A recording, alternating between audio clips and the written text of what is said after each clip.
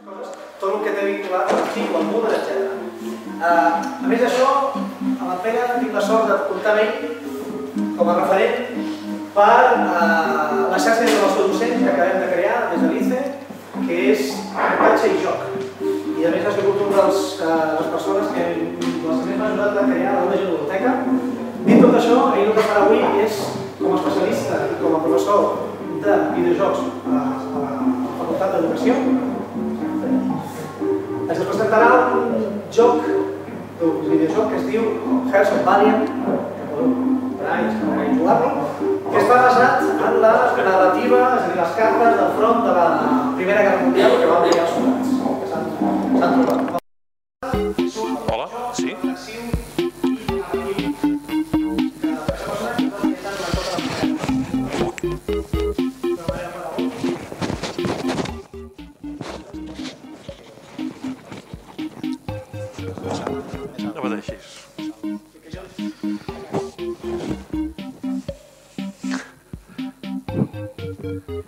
Ara se me sent? bueno, doncs us deixo en Pere Cornell Canals i el of Valiant. Bon dia a tothom.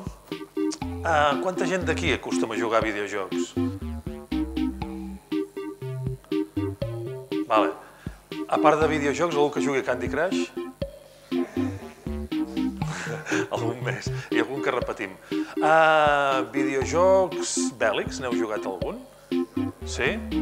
Per exemple, Call of Duty, Hearts of Iron, Call of Duty, Medal... Battlefield, Medal of Honor, suposo també, algun no? Molt bé. Quina visió teniu de videojoc bèl·lic? Mm, Per què ens serveix, bàsicament? Per matar el temps i matar altres coses. Està bé això de matar el temps. A veure, el videojoc que us presentaré ara, que és el Valiant Hearts, eh, està inspirat en, en la Primera Guerra Mundial i per això encaixa dintre d'aquesta sessió que estem fent avui. Um, també ens serveix per matar el temps, però jo diria que no de la mateixa manera que el Medal of Honor, el Battlefield o tots aquests que hem anat comentant ara. Estem acostumats, suposo, a pensar en videojocs en els que, eh, quan parlem de videojocs bèl·lics, en els que tenim una arma a la mà i vinga, som-hi, eh? allò hardcore gamer i killer total i un shooter d'aquests que no quedi res absolutament sobre la capa de la Terra només nosaltres, no? Si morim, a més a més, tornem a reviure i podem tornar a seguir a fer les nostres històries. El joc que us presentaré ara ens serveix, a més a més, per aprendre alguna cosa. La idea de la gent que està darrere del, de l'equip de, del Valiant Hearts, eh, precisament ha volgut crear un videojoc que ens expliqués alguna cosa més, que aprenguéssim alguna cosa de la Primera Guerra Mundial, a part de eh, passar el temps una bona estona entretinguda. Sabeu moltes coses de la Primera Guerra Mundial? Ell sí, ell ja m'ha ensenyat, ell és un expert, has donat moltes cites que jo desconeixia totalment. La resta de la gent, què, Primera Guerra Mundial, què? Pff, Depèn de si entra examen o no, no? Quan entra examen? Anem a fer una prova. Si ja parlem de videojocs, tant se val. Comencem jugant. Teniu dispositius mòbils en aquí, veig. La majoria, ordinadors, eh, eh, mòbils, etc. Sí?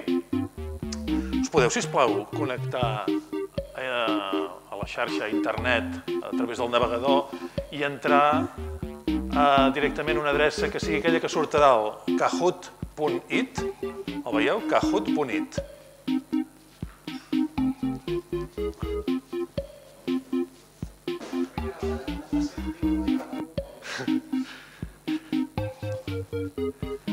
Kahoot.it. Uh, quan hi entreu, algú hi ha entrat ja? Quan hi entreu us demanarà un PIN. Heu d'escriure un, un PIN, un número. El PIN que heu d'escriure, no és gaire difícil de veure quin és, eh? 86717. I el proper pas que us demanarà és que us identifiqueu amb un nom d'usuari. D'acord? Mira, en Cesc, Hanan, ja, ja tenim dos. Algú més? Mira, 4, 5 jugadors. Ei, va! Això ja comença a agafar forma. Són alumnes teus, Claudi? No, perquè podríem donar 0,2 punts a qui guanyi alguna cosa d'aquestes, no?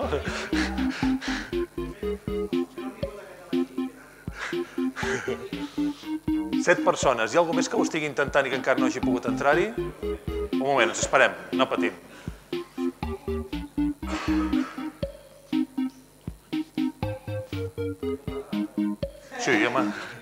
Pots aixecar, va, sí.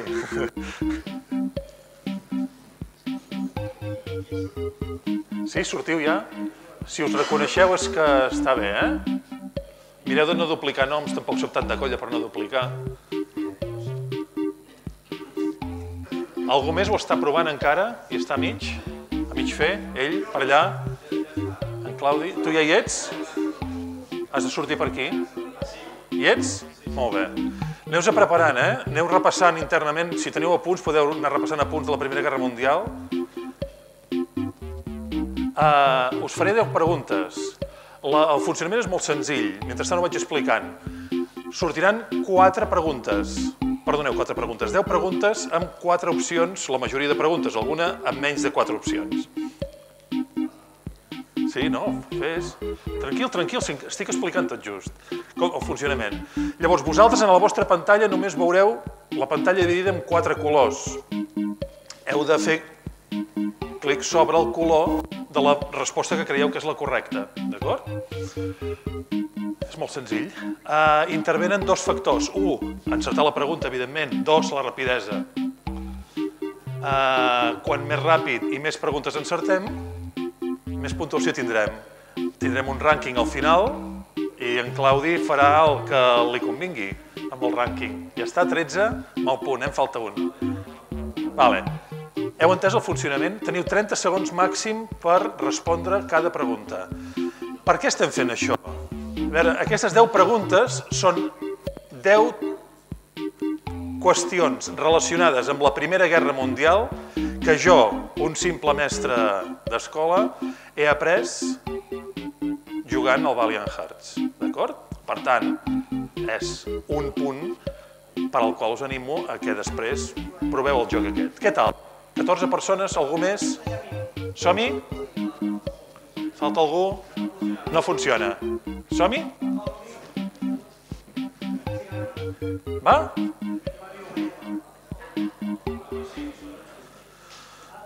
Vale.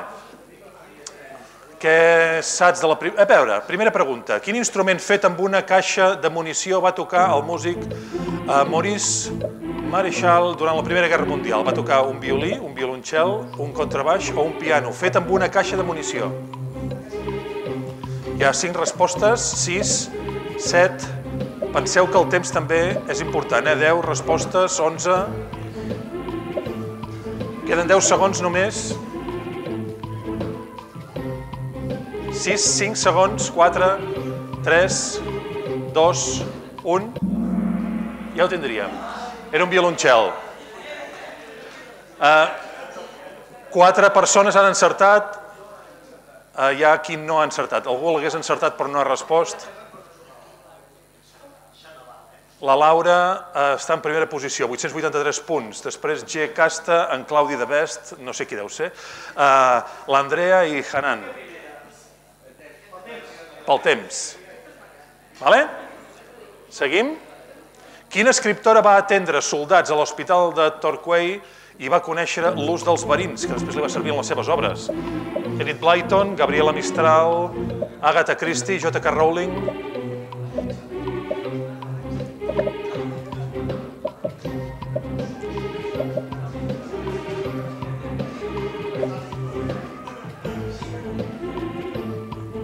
Deu segons per als que encara no hagin contestat.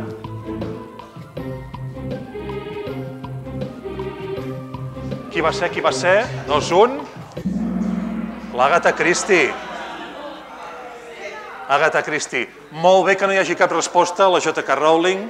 L'Enid Blyton, eh, bé, també hagués pogut ser, suposo, però la Gabriela Mistral em penso que li pillava una mica lluny tot plegat, tant en, tant en època com en, en situació. Però bé, tant se val. Uh, L'Andrea ha passat, la Laura ha baixat perquè deu haver errat la, la pregunta. Seguim, seguim? Tothom atent? Heu agafat la mecànica ja, no? L'Andrea, on te la tenim, l'Andrea? Andrea, aquí, són dos, Claudi, són dos, eh? Seguim. L'argot de trinxera era una llengua inventada pels soldats. Quantes paraules tenia aquest argot de trinxera? 20 paraules, 200 paraules, 2.000 paraules, 20.000 paraules, aproximadament.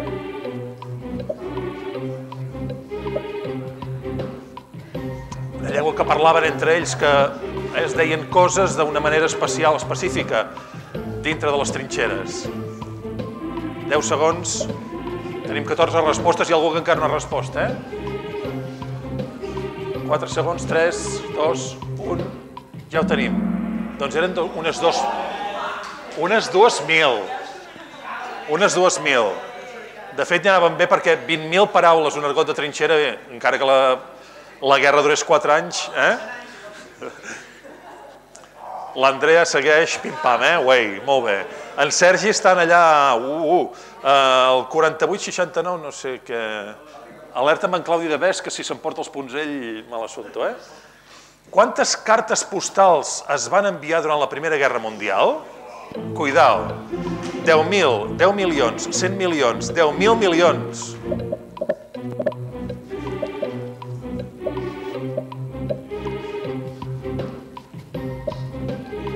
17, 16, va. Hi ha gent que encara no ha respost.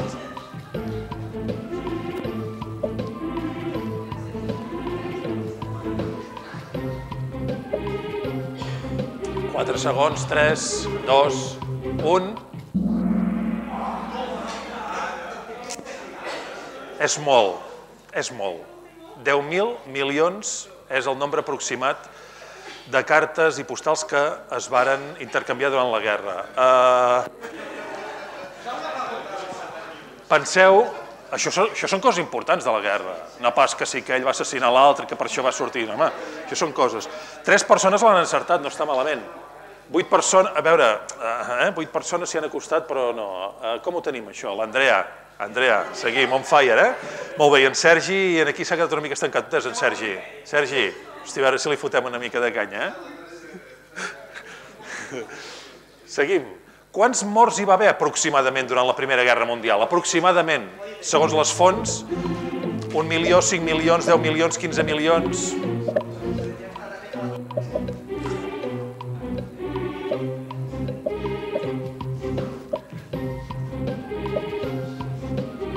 No sé si anem per la banda alta, per la banda baixa. 10 segons.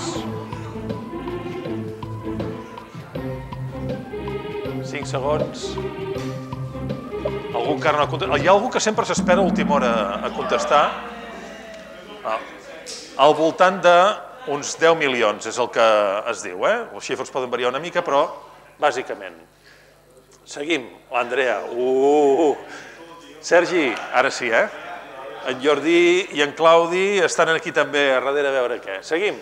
Saps quants, alerta, importantíssima pregunta, quants coloms es van utilitzar durant la guerra, la Gran Guerra? Alguns els van condecorar i tot, i això no és broma, van condecorar coloms per al seu servei. 500 coloms, 5.000 coloms, 50.000 coloms, 500.000 coloms, missatgers, eh? no per àpats.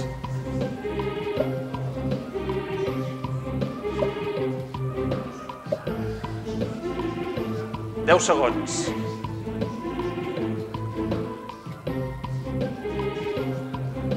Quatre, tres, dos, un... Quants, quants, quants eren? Mig milió de coloms, tela, eh? Devien quedar pel camí moltíssims, segur. Uh, dues persones només, no sé si mantindrem aquí. Ei, va, encara esteu primeres, algú ensopegada, aquesta també? Aquesta també l'heu encertada? No, eh? Ui, la resta tampoc. Ah, l'Àlex, l'Àlex sí, suposo, perquè ha pujat una mica. Se t'ha penjat. Sí, aquesta és, aquesta és l'excusa. Durant la Primera Guerra Mundial, els soldats francesos rebien una ració diària de... De, de vi, de pa, de sucre, de colònia. A les trinxeres, se suava molt a les trinxeres, es feia molta pudor, eh? Però no sé si era això. Vi, pa, sucre, colònia... Els soldats francesos. Els francesos. 9, 8, 7, 6, 5, 4, 3, 2, 1... vi. I a més a més van anar augmentant la ració a mesura que van avançant la guerra. Al principi tenien poc vi i a mesura que van avançant em sembla que van acabar pel mig litre diari, una cosa d'aquestes, o fins i tot més. Només, ah no, sis persones, molt bé. Ep, en aquí l'Àlex està pujant, eh, Andrea, espavilem, eh? Tanc, tanc, era una paraula en clau per fer-los passar per tancs d'aigua. Abans, com se'ls anomenava? Els tancs. Eruga armada, camió canó, caixa d'armes, buc terrestre.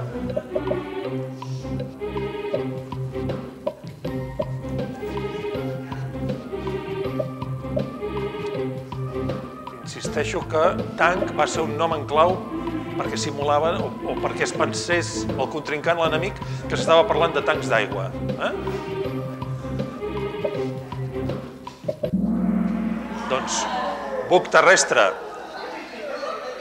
Buc terrestre perquè s'assemblava en les barcasses aquestes, eh? D'acord?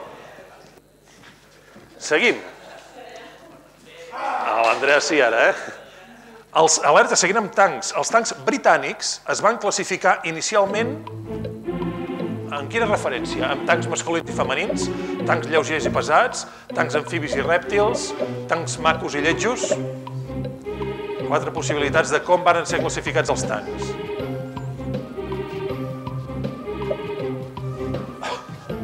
Dotze segons, 11, 10, 13 respostes, 14,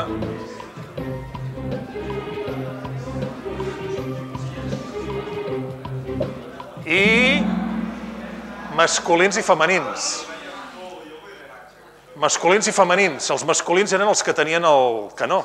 Els altres només tenien metralletes, per dir-ho així. Eh? Uh, per tant, només dues persones han encertat. Eh?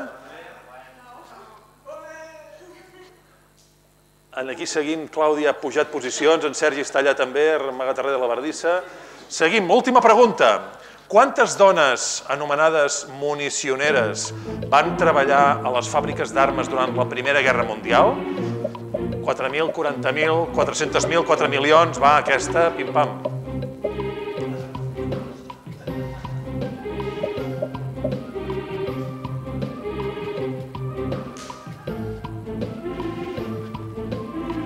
Deu segons.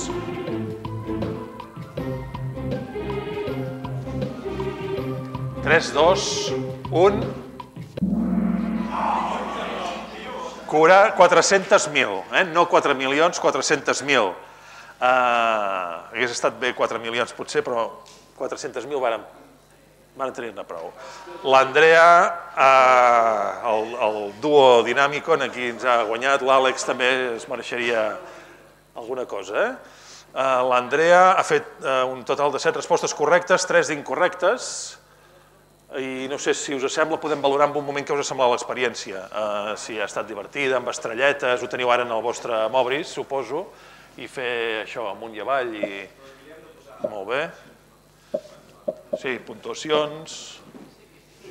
Us ha semblat divertit això o no? No sé.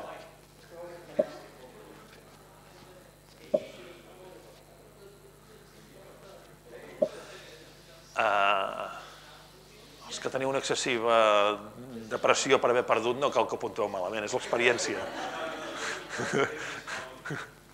How you feel? Molt bé. 12. Això es pot fer tot arreu. Si ho puc fer jo, aquí ho pot fer tothom, Claudi. Molt bé. Um, m'agrada que hagueu participat, m'agrada que valoreu tan bé tot plegat, m'agrada que haguem pogut demostrar que els dispositius mòbils a l'aula també poden ser útils. Totes aquestes coses són coses que he après eh, eh, jugant en el joc aquest. Per tant, eh, el que estava escrit de forma més estesa i oficial en els llibres, en els apunts, en els recursos que podem trobar a la xarxa, etc, moltes vegades es deixen aquests petits detalls, perquè van a altres detalls que potser són més importants per entendre el desenvolupament del conflicte en si, etc. No? I em sembla que qüestions com aquestes eh, ens ajuden a veure, a passar una mica al costat humà de, de les persones que varen viure els conflictes bèl·lics. Si bé ens ha posat un exemple claríssim de com des de eh, el govern o des d'altres estaments, eh, des de casa mateix la pressió, el que es feia era animar la gent a participar en els conflictes bèl·lics, sobretot en aquests de la Primera Guerra Mundial, ara ja segur que no tant, però sobretot aquests de fa una època, doncs animava la gent a participar i la gent estava contenta a participar-hi, eh, a darrere de cada persona s'hi amagava una història i per tant a vegades aquestes històries eren una mica diferents del que s'entén a nivell global, d'acord? Anem a veure si això funciona.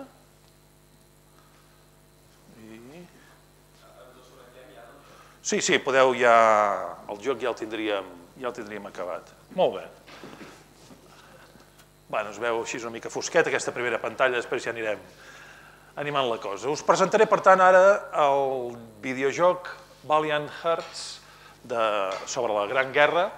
És un joc que és recomanat per el PEGI, que, el PEGI, que és una, una associació que valora tots els videojocs, diu que es pot jugar a partir dels 12 anys, és un videojoc de la casa Ubisoft i es pot jugar tant per Xbox com per PlayStation, com per PC, com per iPhone o iPad. Si penseu en sistemes iOS, gairebé que us recomanaria l'iPad perquè és una mica més gros, l'altre quedaria molt i molt petitet, d'acord? És un joc que és relativament assequible si pensem en el món dels videojocs, em sembla que el seu preu per ordinador està sobre els 15-17 euros, probablement. El preu per iPad no arriba als 5 euros, per tant, tampoc és que sigui una cosa allò eh, molt, eh? molt excessiva. Molt bé. Uh, és un joc nou, és un joc del 2014, per tant, és molt i molt recent. Um, què explica aquest joc? Uh, una de les característiques importants del joc és que ens presenta una història. I aquesta història Clar, és conegut, ara ja, ja ho sabem, de què hem estat parlant tota l'estona, de la Primera Guerra Mundial. Molt bé, sí, el videojoc ens parla de la Primera Guerra Mundial. Sabeu quants videojocs s'han fet sobre la Primera Guerra Mundial? Sobre la Primera Guerra Mundial. Va. 300? 300. Algun dona més, algun dona menys? 25. 300 et sembla excessiu. Excessivíssim. De la primera. De la primera, cap? 50. N'hi ha 50 de catalogats, d'acord? I de la segona, Guerra Mundial? 5.000. No ens passem tampoc. 200? Bueno, molts més, eh? Aquests 5.000 ha sigut allò. De la segona n'hi ha 518 videojocs. No és que jo m'hagi entretingut a comptar-los tots abans de venir aquí, allà.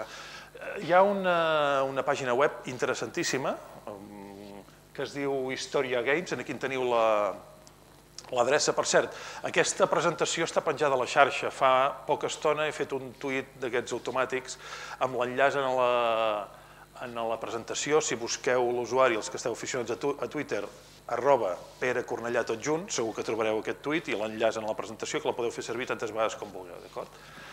Llavors, eh, és una pàgina francesa, està molt bé, eh, que té catalogats tots els videojocs que fan alguna referència o tenen en la totalitat o en part continguts de referència històrica? I per tant estan organitzats, per exemple, per èpoques, o estan eh, eh, organitzats per tipologia de joc, per gènere de joc, etc. No? I no has de fer més que mirar la llista, buscar Primera Guerra Mundial, te'n surten 50, aquests són els que tenen catalogats ells. Eh? Segona Guerra Mundial, 518. Ah, per què d'alguna manera la Primera Guerra Mundial n'hi ha 50 i els altres 500, de l'altre 518? Jo no sóc un expert en Guerra Mundial, però igual vosaltres m'ajudeu una mica també. El que diuen els experts és bàsicament que molta part de la Primera Guerra Mundial es va desenvolupar a les trinxeres, una, una guerra de trinxeres, i això dona poc joc o poc videojoc.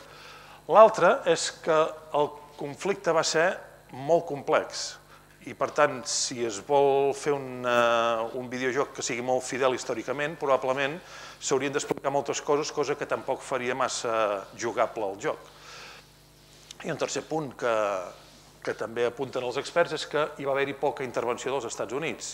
Uh, I per tant, tampoc és que s'hagi promocionat molt des d'empreses nord-americanes a que es creïn jocs d'aquest tipus. D'acord? Parlàvem d'una història. De fet, la història eh, podria començar com un acudit. I podríem dir que un francès, una belga, un americà i un alemany es van trobar, eh, sembla allò, es van trobar amb un avió, només hi ha una paracaigudes, però de fet, és, qui t'hi diries? No, eh, un francès, una belga, un americà i un alemany. Són els quatre protagonistes, per tant, no una història, sinó quatre, de la, del Valiant Hearts. En aquesta foto hi surten tots quatre. Uh, va, fem una mica de qui és qui. Amb la belga la teniu clara, no? El de la dreta, l'Alemany, està tothom d'acord? El, el, el del mig, l'americà, aquell? El francès? El francès, sí?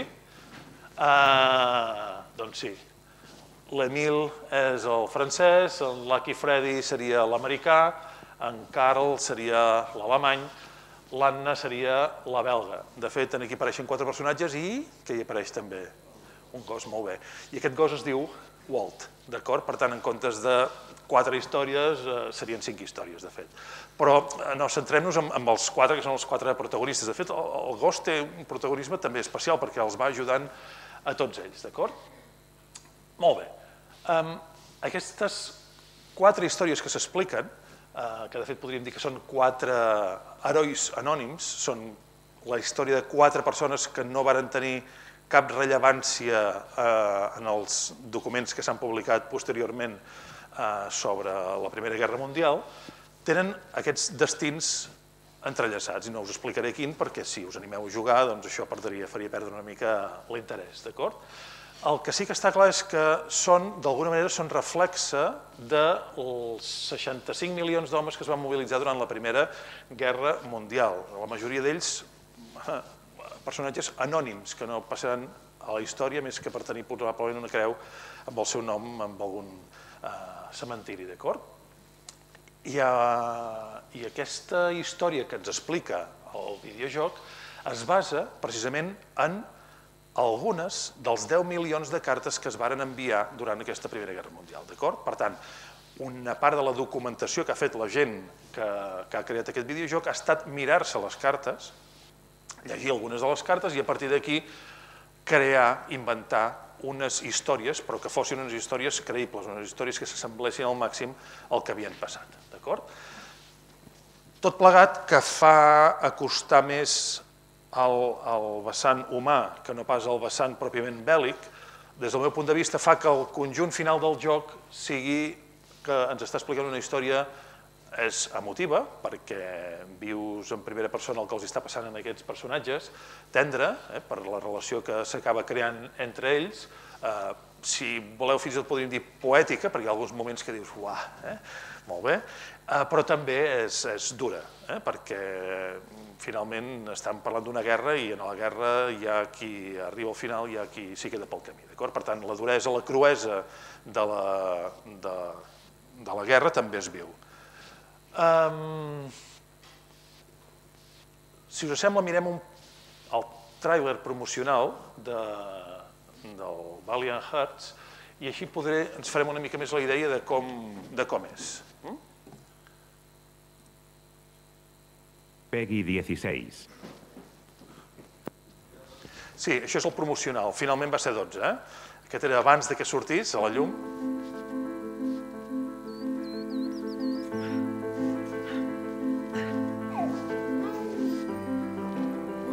Vidas destrozadas. Amores perdidos. Hoy, granjero. Mañana, soldado. Enviados lejos de su hogar y separados de sus seres queridos. Estos héroes inesperados se ven inmersos en la gran guerra que cobra fuerza y siempre con ganas de más. Guerra enloquece a los hombres, pero la humanidad puede brillar hasta en los momentos más oscuros.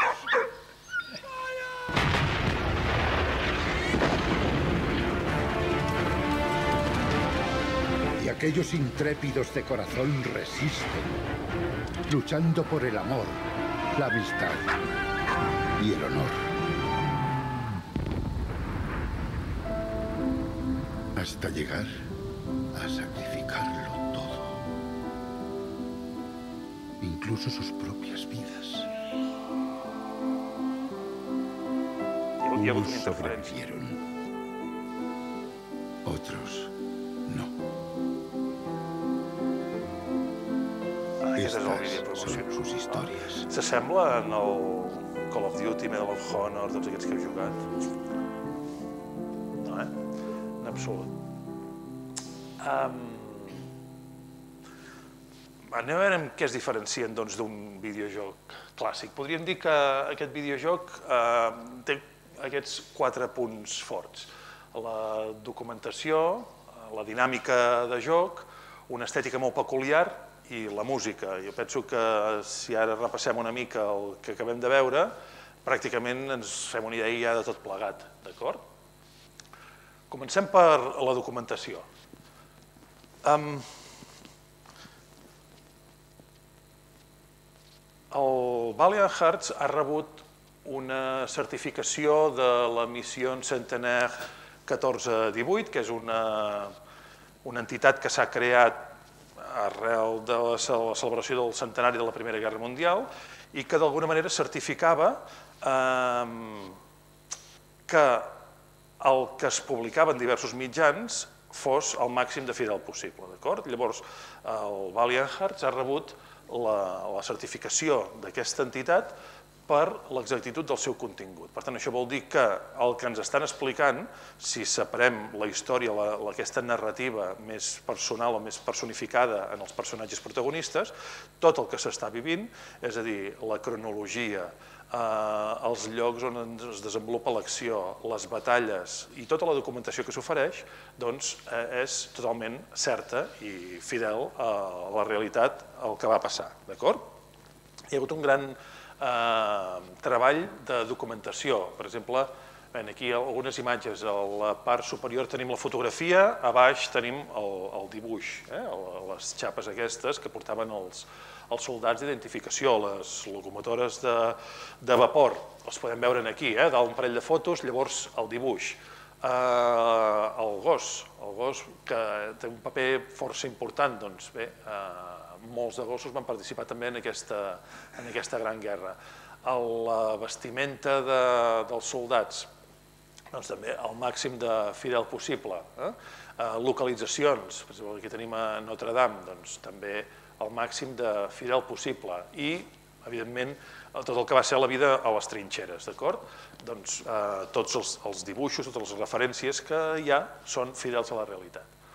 I un cop jugues, pots accedir a tota aquesta documentació. Si vols et pots quedar només amb el fil del joc, tu vas jugant i arribes a un final, però dintre del joc mateix hi ha tot un apartat de documentació i és en, en dos apartats que trobo que són força originals. Un és a partir d'objectes, com pot ser un casc, una carta, com el que veiem aquí, una rata morta, un got, una cullera, qualsevol objecte serveix d'excusa per explicar alguna curiositat que es va viure durant la Gran Guerra. I em sembla que, per tant, és força, força interessant. Aquests objectes són objectes amagats que has d'anar trobant mentre desenvolupes el joc.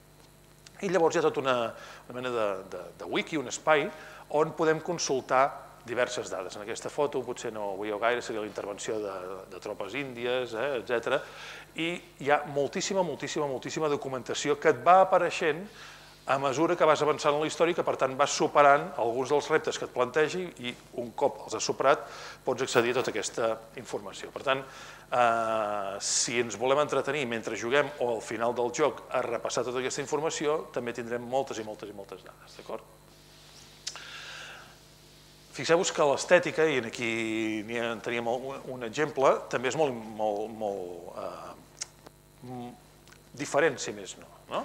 Aquí hi ha alguna altra imatge de l'Anna amb el gos en un hospital o d'algun passatge bèl·lic, en aquí tots eh, esperats a que s'aturi el foc enemic per poder avançar el camí, eh, aquí amb una, amb una mena de tanc, una màquina d'aquestes que eh, per anar a atacar els, a l'enemic, o en aquí un moment en què els soldats alemanys doncs, estan fent broma, mentre darrere tenim el pobre Emil allà que li ha de servir el sopar, d'acord? Fixeu-vos que és una mm, una estètica que ens recorda el, el còmic. Eh? De fet, mm, podríem pensar, si no veiéssim, si no haguéssim vist que els personatges eren animats, podríem pensar que tranquil·lament era un còmic. És un disseny, jo penso que és atrevit, precisament per això. Eh, no hi ha gaires jocs que, que tinguin una estètica similar a aquesta. No sé, jo, a veure, potser per, per mainada, per més petits potser sí, però per, per adults o per gent més gran, potser recordo el Borderlands, no sé si heu jugat algú, ha jugat al Borderlands, també és molt a nivell de, de còmic, també és molt interessant, però fixeu-vos com aquesta, aquest disseny és força atrevit. Mm? Uh, molts de contrastos, sobretot de, de colors, amb els foscos i els clars, amb els grisos i els colors, que et fa centrar la vista en determinats llocs, en els llocs que els artistes que han dissenyat aquest joc eh, doncs han decidit que tingués més importància. I finalment jo penso que tot plegat fa que sigui eh, una estètica força original, pel que us deia, perquè és poc vista també. Eh? I original també és la dinàmica de joc perquè d'alguna manera barreja uns quants elements que podem trobar en uns altres jocs, però que no sempre els trobem tots barrejats, tots units. Com per exemple, en determinats moments has de resoldre puzzles, trencaclosques, reptes. D'acord? Aquí l'Emil està intentant desactivar una màquina que està produint eh, gas, clor, que era un dels gasos que, que es van utilitzar en la Primera Guerra Mundial. Doncs una de les feines que té és fer canviar les canonades perquè lliguin d'una manera determinada per poder desactivar i poder seguir avançant per la superfície. També tenim acció. Hi ha moments en què, per exemple, aquí nosaltres controlem el cotxe central, hi ha dos cotxes, un a banda i banda, que ens vol treure de la carretera, hem d'anar tirant cap a un costat o cap a l'altre en funció del que fan els altres. Per tant, eh, necessitem acció té una bona part de rol també, perquè d'alguna manera passes per les vides dels quatre personatges i per tant vius la Primera Guerra Mundial en les seves pells i cadascun d'ells des del seu punt de vista. Eh? Recordeu els orígens, la belga, el francès, l'alemany, l'americà, d'acord? I també aventura, eh? és una mena d'aventura gràfica en la que has d'anar avançant, anar resolent els, les, els trencaclosques, anar resolent eh, reptes que se't van plantejant al llarg de, del joc. I per tant has d'anar prenent decisions, algunes vegades seran decisions bones que et portaran a bon port, d'altres seran decisions dolentes que probablement et faran repetir l'escena perquè no hauràs eh, arribat al final correctament. I ens faltava el quart, que era la música, d'acord? Um, jo penso que la música mm, ajuda molt a reforçar la història, en aquest cas, d'acord? Aquesta que sentim ara és molt tendreta, no? Ai. Uh, de fet, hi ha tota una banda sonora uh, del Valiant Hearts que podeu trobar des de la pàgina mateix del, de la Valiant Hearts o podeu trobar per Spotify o Groove Shark o alguna cosa d'aquestes i està bastant treballada. Si jugueu, si teniu interès i jugueu, veureu com a cada passatge, en funció de la pròpia dinàmica, si és una escena més tranquil·la, més tendra, més dolça, més trista o més alegre, doncs eh, veureu que, que va canviant aquesta música. Jo penso que està molt ben treballada i que unint aquesta música amb els altres aspectes que hem vist, l'estètica, la dinàmica i la història molt ben documentada, fa que sigui un joc molt, molt recomanable, sobretot pel preu també, d'acord? Molt, molt recomanable. De fet, eh, tot plegat està pensat per fer una mena de, de recordança de, de tota la gent que, que, que va perdre la vida en allà, eh? una mena d'homenatge. De fet, en algun moment del joc diu que, tot i que fa molt temps que els seus cossos van tornar a ser pols, el seu sacrifici encara perdura i hem d'esforçar-nos a preservar el seu record i no oblidar mai. Per tant, és un, un esforç per recordar o per venerar la memòria de, de totes les persones que varen combatre i molts d'ells, doncs, 10 milions, varen perdre. Un joc molt recomanable, si us animeu, doncs penso que fins aquí, d'acord? No sé si hi ha alguna pregunta, alguna cosa o...